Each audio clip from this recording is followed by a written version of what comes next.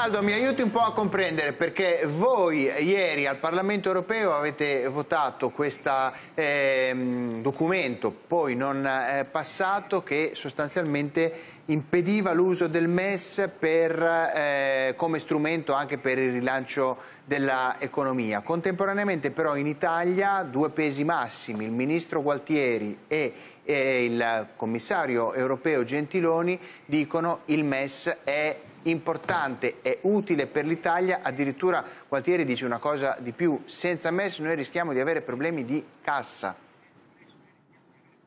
Allora, guardi, giusto per spiegare, perché se no non rendiamo un buon servizio agli amici a casa, quella di ieri del Parlamento europeo era una risoluzione di indirizzo politico, non era un testo normativo, punto numero uno.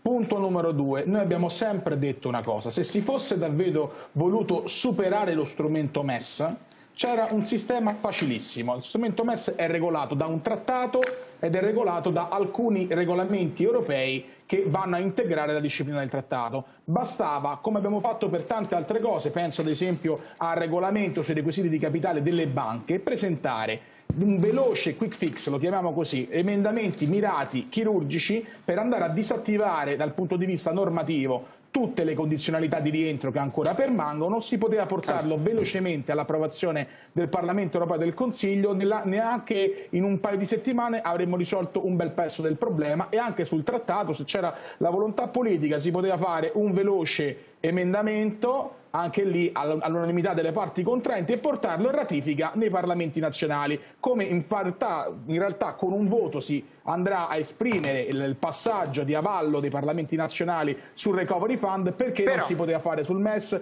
punto di domanda. Questo non è avvenuto, per noi permangono quindi sempre le solite criticità e coerentemente al Parlamento europeo in questa risoluzione di indirizzo abbiamo detto quello per le sue problematiche intrinseche resta uno strumento che noi certo. non vogliamo Ma non è bizzarro Bizzarro, visto Però, che è un documento ma, di eh, indirizzo politico, poi arrivo da lei Mulema, visto che è un documento di indirizzo politico, Castaldo, non è bizzarro che voi votiate con le famiglie dei conservatori, dei sovranisti in Europa quando non più tardi di due giorni fa Di Maio rivendicava invece la scelta europeista dicendo abbiamo fatto bene fin da subito a votare Ursula von der Leyen. Oggi Gentiloni dice abbiamo eliminato dalle sue linee di credito del MES le vecchie condizionalità macroeconomiche e ora è chiaramente vantaggioso per un paese che ha i tassi di interesse come quelli eh, italiani.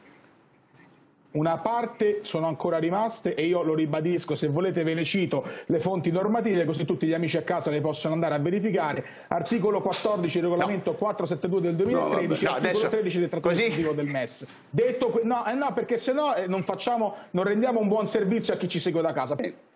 Guardi, molto velocemente, il, vera, ci sono due, due aspetti fondamentali e Caporale ne ha toccato uno in modo molto pertinente. Il primo, a chi vanno questi soldi? Regioni, perché la sanità è in mano regionale, quindi quelle stesse regioni inefficienti nell'uso dei, dei fondi strutturali europei, inefficienti e con ritardi cronici enormi sul piano sanitario, andrebbero ad assorbire un po' come un Moloch a divorare queste risorse e non sappiamo neanche bene con la garanzia appunto che le impieghino rapidamente e velocemente. In secondo luogo sono solo soldi che si possono utilizzare per spese sanitarie dirette o indirette legate al Covid Faccio un perché spiego questo? Perché se uno volesse ad esempio pagare con questi gli arretrati degli stipendi dei dipendenti nell'ambito sanitario piuttosto che i fornitori di altri beni servizi per la sanità che non rientrano nel Covid, non potrebbe farlo, sarebbe un uso che potrebbe essere tranquillamente censurabile. Però Castaldo, quando eh, Gualtieri dice che abbiamo un problema Quindi, di cassa, no, quella è, è una eh, iniezione di liquidità posso, utilizzabile no. con le spese correnti. Rispondo su questo, esatto. rispondo su questo. C'è